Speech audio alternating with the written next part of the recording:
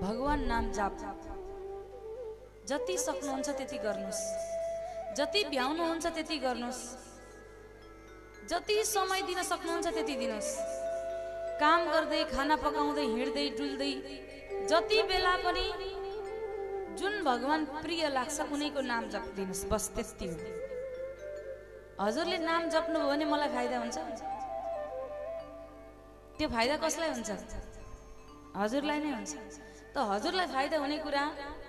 हजुरले नै गर्नु भएन भने कसले गरिदिन्छ? हजुरलाई भोक लागेको बेला हजुरले खाना खानु भएन भने अर्काले खाइदिएर हुन्छ?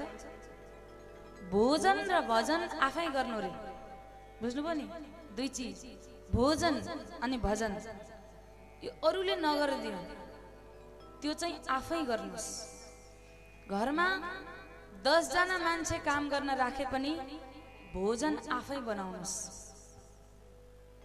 हेर्नु है यो श्रीको घरमा यदि श्रीको चाहिँ घरमा बास होस् श्री भनेको को? लक्ष्मी। यदि श्रीको घरमा बास हुने इच्छा छ भने घरकै गृह लक्ष्मीले नै भोजन बनाउनु भनेको छ है। त्यही भएर मैले हजुरहरूलाई भनेको हुँ घरकी गृह लक्ष्मी भनेको को? हजुर नै हो नि त होइन?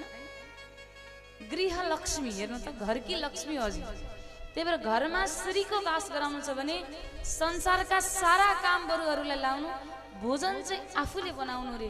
किनभने त्यो भोजन कसले पान गर्छ? भगवान्ले भगवान्ले खानुहुन्छ त्यो भोजन। अलिकति सबैभन्दा पहिले खाना पकाइसकेपछि सबैभन्दा पहिलो एक सिता अन्न केमा हालिदिनुहुन्छ? अग्निमा। पहिलो अन्न। किनभने त्यही अग्नि भगवानको कारणले गर्दा हामीले अन्न पकाउन सकेको हो कि होइन? अग्नि महापुराणमा छ यो कथा। अग्नि भगवान त जुन दिन हामीलाई छोडिदिनु भयो त्यो दिन हाम्रो प्राण सकियो। यो शरीर तातो तातो भएन भने प्राण सकिएन। यही हुनुहुन्छ अग्नि। अग्नि भगवानको साथले गर्दा हामी यहाँसम्म छौँ। र भगवान शङ्करको तेस्रो नेत्र पनि के हो? अग्नि हो।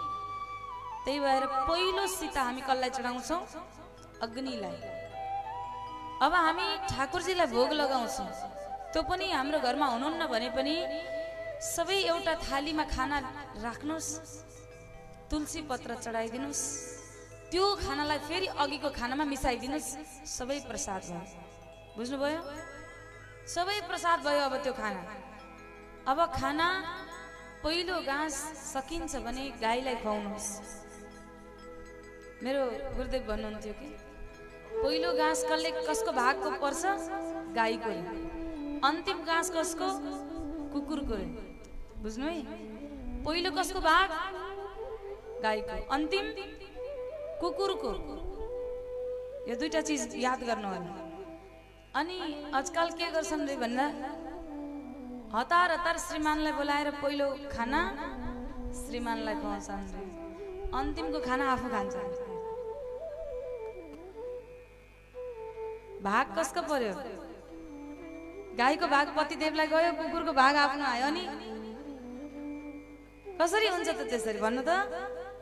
त्यो कारणले गर्दा पहिलो र अन्तिम घाँस चाहिँ हाम्रो भागको होइन पहिलो गौमाताको गौमाता हुनुहुन्न भने पनि कुनै पनि जनावर कुनै पनि जीव जन्तुलाई खुवाइदिनुहोस् हजुरहरू तब यहाँ भगवान्लाई खाना पकाउँदा पनि भगवान्लाई स्मरण गरेर पकाउनुहोस्। त्यो बडो स्वादिष्ट हुन्छ।